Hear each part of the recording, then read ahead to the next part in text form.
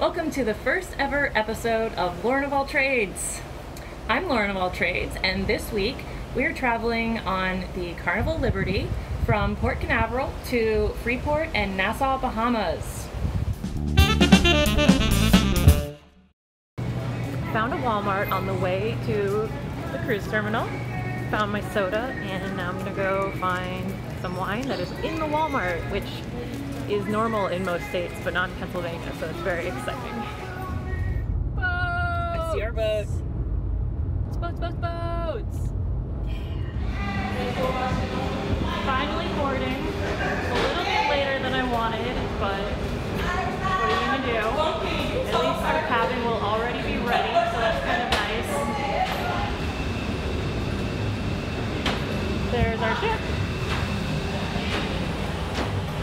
Lifeboats for everyone. Here we go. Through these doors will be the lobby. Party with the towel elephant.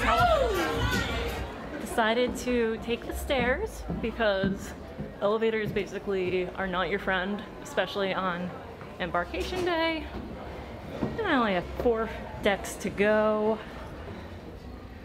All right, we're on deck seven. It says that I'm not supposed to go through here, but that's only really for four minutes. I was told at check-in that my cabin was ready, being that I think because we're in a suite, but I think that's unofficial. not sure. It's not technically a benefit of being in a suite. Here is where you get your room card keys.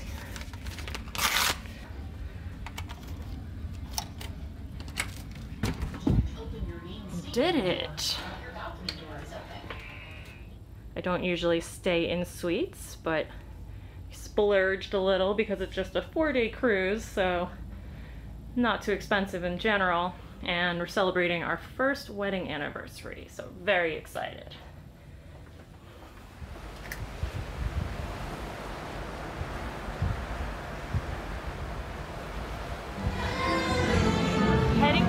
Burger Joint to get a burger.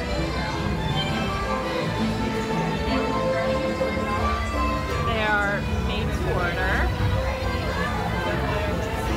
And you can order off the menu or order it the way you want. And then you come over to the toppings bar. So if you order it plain, you can add the toppings you want in the quantities that you want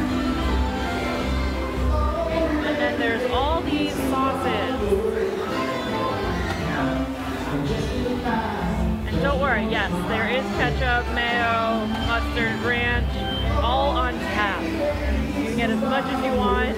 Take some extra in, in some cups with you. Guess what?